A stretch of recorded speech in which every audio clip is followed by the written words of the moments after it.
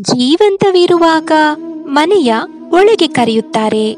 ಸತ್ತ ನಂತರ ದೇಹವನ್ನು ಮನೆಯ ಹೊರಗೆ ಇಡುತ್ತಾರೆ.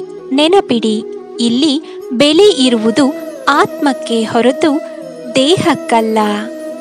ನಾವೇ ಬೇಕು ಅನ್ನುವವರು ನಮ್ಮಿಂದ ಏನಾದರೂ ತಪ್ಪಾದ್ರೆ ಬುದ್ಧಿ ಹೇಳ್ತಾರೆ. ಬೇಡ ಅನ್ನುವವರು ಅದನ್ನೇ ಕಾರಣವಾಗಿಟ್ಟುಕೊಂಡು ನಮ್ಮಿಂದ ದೂರ ಆಗ್ತಾರೆ. ದೇವರು ಒರಟು ವಜ್ರಕ್ಕೆ ಹೊಳಪನ್ನಿಟ್ಟ, ಆದರೆ ಸುವಾಸನೆಯನ್ನು ನೀಡಲಿಲ್ಲ.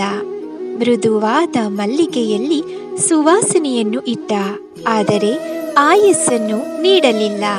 ವಿದಾತನ ನಿಯಮ ವಿಚಿತ್ರವಾದರೂ ಅದುವೇ ಸತ್ಯ.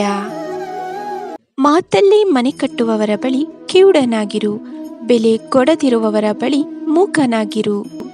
ಮಮತೆ ಇಲ್ಲದವರ ಬಳಿ ಅನಾಥವಾಗಿರು. ಸೊಕ್ಕಿನಿಂದ ಇರುವವರ ಬಳಿ ಒಂಟಿಯಾಗಿರು. ಪ್ರೀತಿಯಿಂದ ಇರುವವರ ಬಳಿ ಜೋಡಿಯಾಗಿರು. ಕಷ್ಟಕ್ಕಾಗುವವರ ಬಳಿ ಎಂದಿಗೂ ಋಣಿಯಾಗಿರು.